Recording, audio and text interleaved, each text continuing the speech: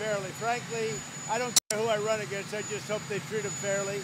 I hope it's not going to be a rigged deal because there's a lot of bad things going on, and I hope it's not going to be one of those. So we'll see what happens. But I congratulate Bernie Sanders, and if it's going to be him, he certainly has a substantial lead.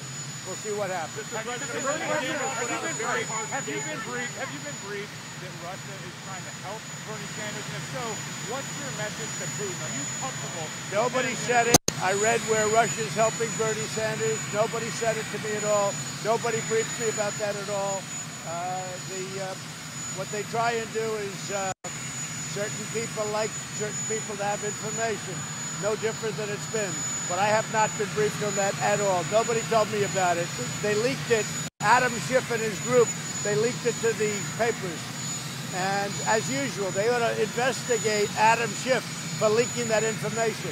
He should not be leaking information out of intelligence. They ought to investigate Adam Schiff. Sanders put out a very hard statement.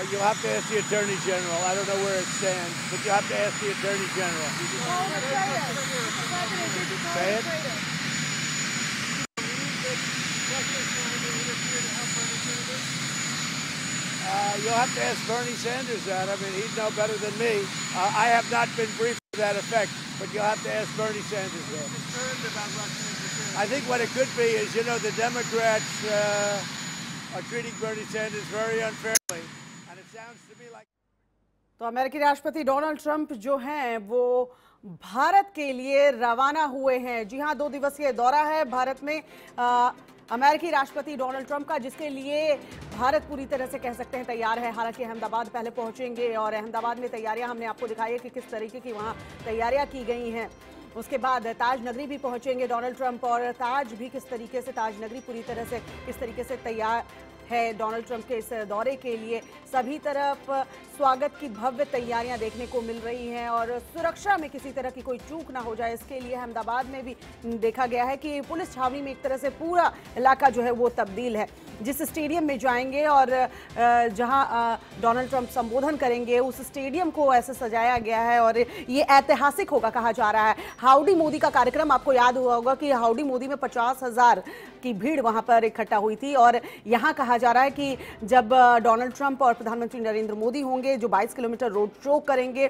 इस दौरान एक लाख लोग जो हैं वो मौजूद रहेंगे जब डोनाल्ड ट्रंप स्टेडियम में लोगों को संबोधित करेंगे तो तैयारियां पूरी भारत में कर ली गई हैं और हर तरफ से कह सकते हैं कि भारत डोनाल्ड ट्रंप के इस दौरे के लिए तैयार है और वहीं इस बीच खबर कि डोनाल्ड ट्रंप भारत के लिए रवाना हुए हैं